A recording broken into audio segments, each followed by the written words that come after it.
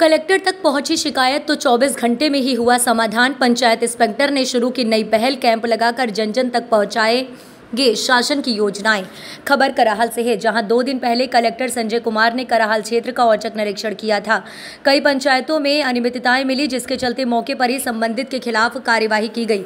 इस तरह खिरखरी पंचायत में भी संबल पात्रता पर्ची की शिकायत पर पंचायत इंस्पेक्टर का भी एक माह का वेतन रोका गया।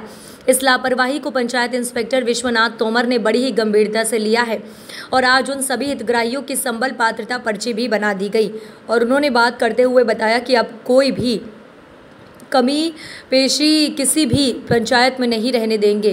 कैंप लगाकर शासन की योजनाओं को जन जन तक पहुँचाया जाएगा। श्योपुर कलेक्टर संजय कुमार ने सख्त हिदायत दी है कि कार्य में लापरवाही बर्दाश्त नहीं की जाएगी, जिसका अच्छा खासा असर स्थानीय प्रशासन पर देखने को मिल रहा है। कलेक्टर साहब के दौरे के अनुसार देखा गया सर सम खिरकिरी में संबल योजना पात्रता पर्ची के, के उस पर सर आपकी कुछ वेतन काटने निर्देश सर ने दिए। क्या लापरवाही सर पहली बार देखने को मिली? सर ये कैसे चूक गए सर आप इससे? एक्चुअल में क्या हुआ था वहाँ के सचिव का ट्रांसफ़र हो गया था वो पहला पहुँच गए थे। तो उनकी लॉगिन में ये कुछ आवेदन सत्यापन के लिए पड़े हुए थे ग्राम पंचायत स्तर पर। बार बार मैं रिपोर्ट भी डाल रहा था कि ये करें करें लेकिन वो नहीं कर पाए थे।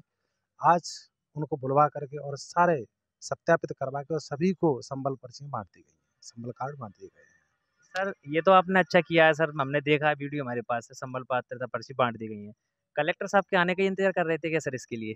नहीं ऐसा कुछ भी नहीं मैं बार बार हर बार मैसेज व्हाट्सएप पे एक दिन प्रतिदिन या एक दिन छोड़ करके मैसेज डालता हूँ कि जहाँ भी पर्चियाँ हैं जहाँ भी संबल कार्ड का सत्यापन करें सचिव करें सचिव करें बार बार हर मीटिंग में उनको निर्देशित किया जाता है।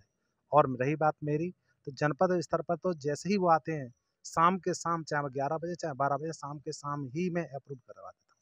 क्या कार क्या कार्य रहेंगे सर? बहुत सारे कार्य पेंडिंग है काफ़ी शिकायतें कराल ब्लॉक की हैं सर। क्या रोड मैप रहेगा सर? क्या अब भी कलेक्टर साहब का आने का इंतज़ार होगा? सर आप खुद ही इसमें अब लग जाएँगे। नहीं हमें हिदायत मिल चुकी है क्रिक्री में देख चुका हूँ। अब मेरा जो लक्ष्य है वो यही रहेगा कि इस तरह के दूर दूरस्थ गाँव में हर गाँव में खुद कैंप कर करके खुद जा जा करके जहाँ भी संबल कार्ड पेंडिंग होंगे वो अन्य जन कल्याणकारी जितनी भी योजना है, सबके फॉर्म में खुद जा जाके भरूँगा। हमारे साथ जुड़े थे पंचायत इंस्पेक्टर विश्वनाथ तोमर साहब। इन्होंने कहा है कि अब जो भी योजना है, मुख्यमंत्री जी की जन कल्याणकारी योजना है, जो किसी कारणवश किसी पंचायत में छूट भी रहेंगी होंगी, उनको जल्द ही उन जन जन तक उन योजनाओं को पहुँचा दिया जाए।